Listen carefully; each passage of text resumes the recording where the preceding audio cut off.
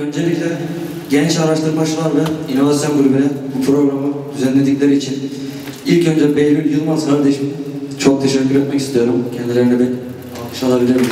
Çünkü böyle programlar herkesin harcı değil. Ee, böyle programları düşünmek de herkesin harcı olmadığı için kendisine şükranlarımı sunuyorum.